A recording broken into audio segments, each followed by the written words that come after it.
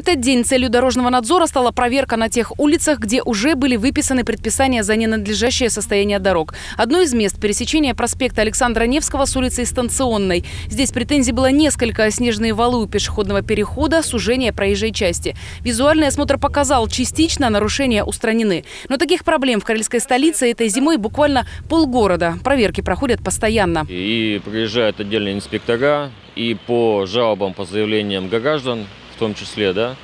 И у нас существуют совместные мероприятия, когда мы выезжаем и с представителями и техрента, и администрации, и контролируем непосредственно уже уборку уличной дорожной сети.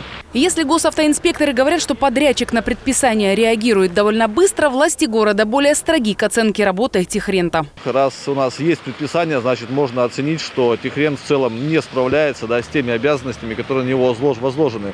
С точки зрения оперативности да, и комплекса выполнения работ. Регулярно с подрядчиком вопрос, вопрос прорабатываем, ну, с той или иной степени успеха получается этот вопрос решать, где-то на результате в рамках э, переговоров рабочего характера, где-то путем штрафных санкций. Еще одна точка – улица Луначарского. Целиком. Здесь было слишком много снега по краям проезжей части. Жаловались и жители района. Отреагировали оперативно. Тут работы пока закончены. Вообще по всему городу в первую очередь подрядчик старается убрать снег в районе пешеходных переходов, остановочных пунктов. Там, где видимость ограничена. Сейчас также последствия снегопада ночного у нас.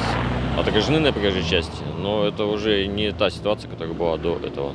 Санкций этой зимой в адрес подрядчика большое количество. Это и сами штрафы, и пени в общей сложности. А зима еще не закончилась. Техренту уже предъявлено более 7 миллионов штрафов и неустоек. Несмотря на все трудности, власти города заявляют, работают с подрядчиком и с представителями дорожного надзора в тесной связке. Одни выявляют проблемы, в мэрии их аккумулируют и передают в работу техренту. Тесное взаимодействие направлено в первую очередь на безопасность дорожного движения. Анжела Маркевич, Сергей Беляев, служба новостей.